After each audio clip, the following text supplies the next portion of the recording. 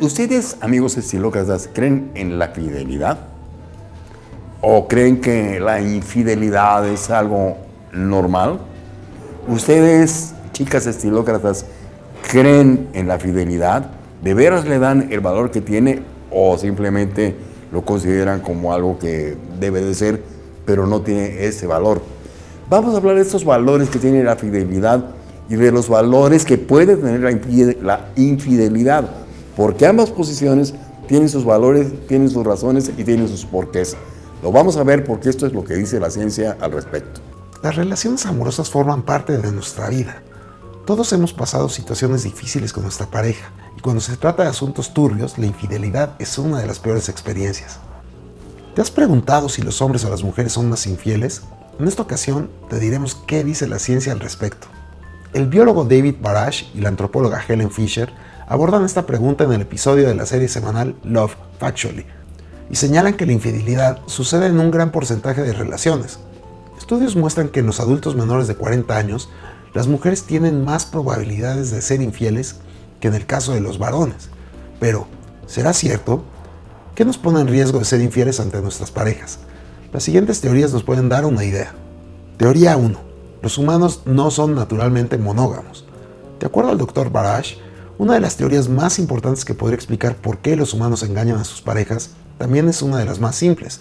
La monogamia no es algo natural para nosotros. Eso no es necesariamente algo malo. Hay muchas habilidades y prácticas que no son naturales para los humanos, pero si nos interesa desarrollarlas, nos tomamos el tiempo para aprenderlas. También puede ser el caso que no nos interese desarrollarlas. Teoría 2. Ser infiel está en nuestros genes. El DRD4 es un gen que ayuda a producir la hormona dopamina, que es la que produce el cerebro cuando es estimulado por el placer. Su tamaño varía en cada persona. Si es de mayor tamaño, necesita más estimulación para liberar dopamina. Una persona con el gen DRD4 más largo tiene el doble de probabilidades de tener un historial de infidelidades. Teoría 3. Todo está en el cerebro. La antropóloga Helen Fisher señala que tenemos tres sistemas cerebrales diferentes que supervisan el apareamiento, el deseo sexual, los sentimientos de amor romántico y los sentimientos de apego profundo.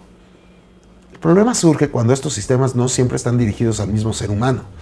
Si bien puede sentirse profundamente apegado a alguien, la parte de su cerebro a cargo de su deseo sexual podría centrarse en otra persona, mientras que la parte en control del amor romántico se obstina por una persona completamente diferente. Es como tener tres mentes distintas. Estas son las razones por las cuales una persona puede ser infiel. Por supuesto que hay más factores en juego.